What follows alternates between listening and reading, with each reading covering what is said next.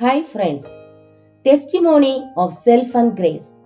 Today's scripture reading is 1 Corinthians 15 1 to 11. I am the least of the apostles. Let's start with Paul's testimony regarding himself. The older he gets, the less he seems to think of himself. In today's reading, Paul notes, I am the least of the apostles.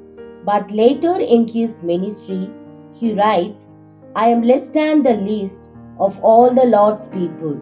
He concludes, late in life, Christ Jesus came into the world to save sinners, of whom I am the worst. Where does that leave us as we age? Friends, our testimony may be bad, worse, and worst. By, by the grace of God, it could be good, better, and best.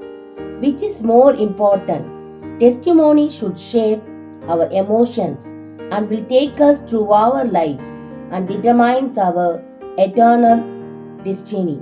Amen. Have a nice day.